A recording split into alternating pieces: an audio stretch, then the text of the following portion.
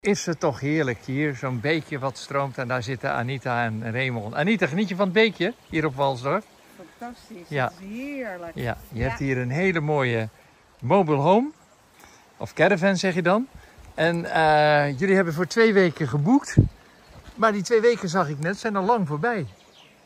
Dat klopt. Ja, wij dachten na twee weken we gaan gewoon nog eventjes door met eh, genieten van de natuur en eh, de prachtige omgeving. Wat maakt het hier zo bijzonder?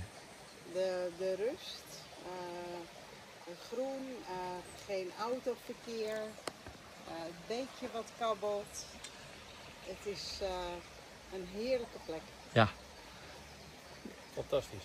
Ik kan het alleen maar fantastisch noemen. Het is Ja. heerlijk inderdaad. De rust vooral. Vele groen. Ja, en eh, dan kom je weer tot jezelf. En daarvoor blijven we hier eigenlijk elke keer verlengen. en voorlopig zitten we goed. Dus ik zie jullie hier van, ik zie hier van de zomer nog zitten in het najaar. Als het zou kunnen, zouden we blijven. Maar wat dat betreft eh, wat gaan we natuurlijk op een gegeven moment vroeg of laat een keertje weg. Tuurlijk. Het weer laat het helemaal toe. Is Ja. heel super. Maar ook met minder weer is het hier Ja. geweldig. Nou, ik wens jullie een hele mooie eh, verder verblijf toe op Walsdorf. Dank jullie wel. Dank.